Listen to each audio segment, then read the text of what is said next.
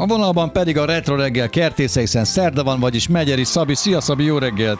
Jó reggelt, sziasztok! Szia Szabi! Nem tudtuk eldönteni, hogy a mai téma a macska menta, az a macskának jó vagy nem jó?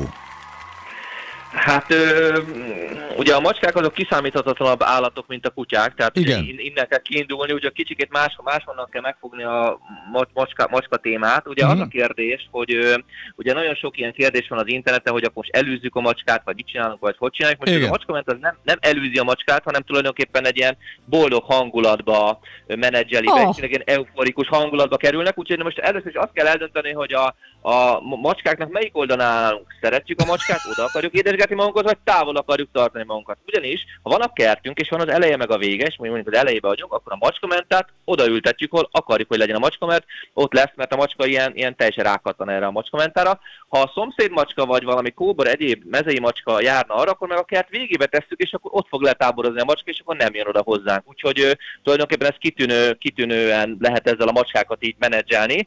Ugye van egy olyan illatanyag ebben a növényben, ami, ami egyébként érdekes kölyök macskákra nem hat, idősebb macskákra nem hat, illetve nem minden macskára hat, hanem csak bizonyos macskákra hat, és ettől ilyen euforikus állapotba kerülnek a macskák, Aha. olyanok, mint hogyha ilyen, ilyen ivarzás alatt vannak, szóval olyan, olyanok úgy, úgy viselkednek tényleg, amik, mint amikor tüzelnek, ilyen nagyon játékosak lesznek, és tényleg így, így jó, jó értelme megborul, megbolondulnak, mint amikor mindig szerelmesek lesznek, szóval valahogy így ehhez tudnám igazából hasonlítani. Igen, nagyon izgalmas, hogy ő, nagy macskákra is hat, tehát ilyen állatkertekbe kipróbáltak, ugye ez egy európai, Európában honos növény, és nyilván az oroszlán ugye kevésbé találkozik macskamentával, de megkínálták vele az oroszlánt, és bizonyos oroszlánok szintén ilyen nagyon boldog hangulatba kerültek vele. És Uh-huh. egyébként na kutatók is nagyon rá vannak állva a macskamentára, mert Nekik is bejön. hogy- Aha.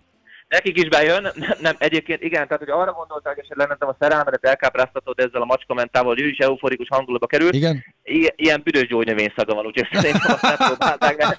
Akkor ez nem olyan, lehet jobban- Szabi, a macskamenta nem olyan, mint a borsmenta meg a fodormenta, hogy mondjuk azt el lehet rákcsálni a levelét, vagy beletehetem limonádéba, vagy ételbe. Hát Nem, szerintem Nem. büdös igazából, de kóstold Hát meg, mert annyi Na félék persze, vagyunk, hát de mit tudom én, kóstold nekem meg. ilyen, de- Ami neked büdös, az másnak nem Kösz, biztos. Szabi, nem. Igen, most azért vigyázni kell, mert hát nem tudni, hogy függőséget okoz a macskánál, de kimeríti. Tehát, hogyha tulajdonképpen olyan, mint amikor nem tudom, fiatalok elmennek a diszkóba, és akkor hajnalig táncolnak, azért azt nem lehet megtenni örökké.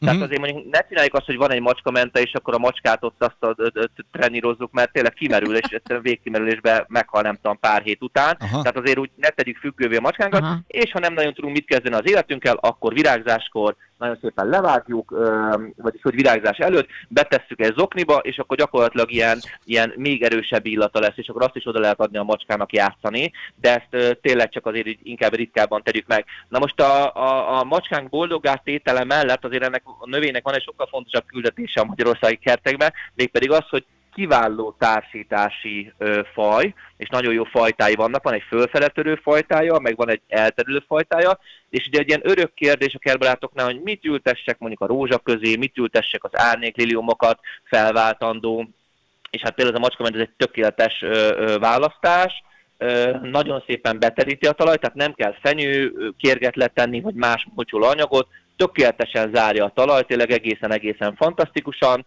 Ez azt jelenti, hogy majd nem kell ott gyomlálnunk, a napocska nem égeti ki a talaj legfelsőbb részét, szóval tökéletes talajt akaró növény. Ugye 4-6 darabot ültetünk négyzetméterenként, mondjuk például a rózsaágyásunk ba, tehát a, tehát a rózsáink közé, ugye a rózsák azért kicsit magasabbra törnek, ezek jellemzően ilyen 20-30-35 centi magasra megnövő, mondom, ilyen elterülőbb növényt kell elképzelni, nagyon jó sziklakertekbe, kerítés mentén, tehát igazából vidéken, ahol ez, ahol ez dívik, mert ott valamiért ismerik mondjuk az emberek, ott egy tőosztással szokták szaporítani az emberek egymás között, ugye előbb-utóbb rájössz, hogy ez egy tök egyszerű növény, Mhm. mm. középre belevágod az ásót, osztod és már is adod ugye, ugye körbe a szomszédaidnak, úgyhogy vannak olyan faluk, ahol a macska nagyon szépen elterjedt, de, de érdemes megismerkedni azoknak a kertbarátoknak is vele, akiknek nincsen a kertjében, vagy nincsen a környezetükben, mert egy, egy tényleg egy fantasztikus talajtakaró növény, ilyen, ilyen lilás, Majd nem olyan szép, mint a levendula, igen. Tehát, majdnem olyan szép, mint a levendula, csak nincs akkor a hype körülötte tulajdonképpen. Így, van. egyébként szerintem kevesebb baj van a, a, a, ezzel a nepetával, ezzel a, ezzel a macskamentával. Szerintem jobban megújul, mint a levendula, úgyhogy ö,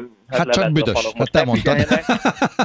Jó, oké. A levendulánk is akkor van illata, hogy azért közel, közel mész Mhm. hozzá, tehát azért nem tudom, 5 méterről azért úgy nincsen. Mhm. Úgyhogy, úgyhogy szerintem így nagyon-nagyon jól lehet ö, ö, alkalmazni. Mondjuk az ilyen pangóvízes területeket kerüljük, de tényleg az ilyen sziklakertek, meg kerítések mellé, ilyen szikárabb területekre is bárhol ahová be lehet tenni, első egy-két évben nagyon figyeljünk oda az öntözésére. Tulajdonképpen azt hiszem így foglalható össze, a legtöbb évelőre az ugye nagyon jól elmondható, és alapvetően a Magyarországi kertekről elmondható, hogy évelő hiányba szenvednek, tehát az évelőket valamiért még nem, nem tartjuk annyira fontosnak, pedig hát ugye magát a kertnek a karakterét azt nyilván megadják a fák, meg a gyümölcsfák, meg az örőzőlék, meg a cserék, de a hangulatát az évelők adják meg, és a, ez a macskament az egy tökéletesen jó példa arra, hogy na ezzel aztán igazán jó hangulatot lehet teremteni a kertbe. Ma számunkra is kertbátok számára, meg hát ugye mellékesen a macskán. A macskának. Oké, okay, Szabi, köszöntük szépen. Legyen szép napot, szia! Szia, Szabi! Megyeri Szabi a Retro Reggel kertésze mesélt nekünk. Hát a macskamentáról.